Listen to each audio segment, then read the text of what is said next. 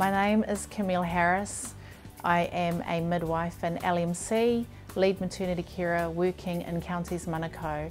I have one of the best jobs in the world. I work with my people. I love providing care for whānau in Counties Manukau. This locality is where the majority of need is and where my people are. This is where I can make a huge difference in health and to help my people thrive. As a Māori midwife, I have my Māori midwifery whānau that is hugely supportive to me.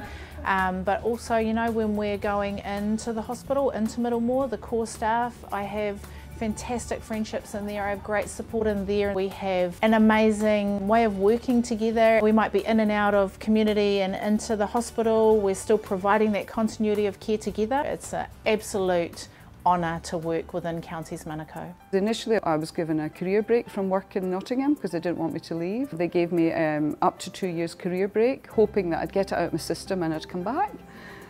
Big mistake. You don't get New Zealand out your system.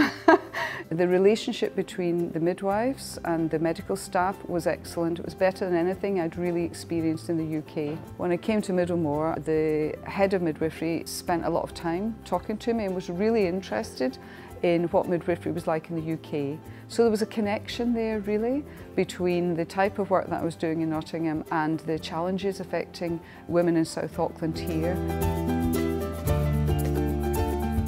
there was a will to work towards making a difference here and that's what attracted me. This is the kind of place I want to work.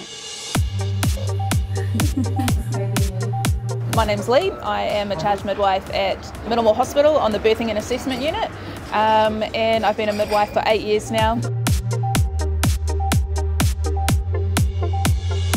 I needed a challenge so I did my research and learnt that uh, Middlemore seemed like an excellent place to go. You get everything. You get the primary care, the beautiful normal births where everything goes like clockwork, all the way up to the tertiary level care. Middlemore Hospital is obviously part of the Counties Manukau um, DHB. It has a massive catchment area, the most diverse population in New Zealand lives in Counties Manukau. We have the most registered cultures and languages. Our staff are people from all different walks of life, all different cultures, and it's just such a colourful, vibrant place to work because of that. I think the type of experience that you get at Middlemore is just, it's incomparable to anywhere else.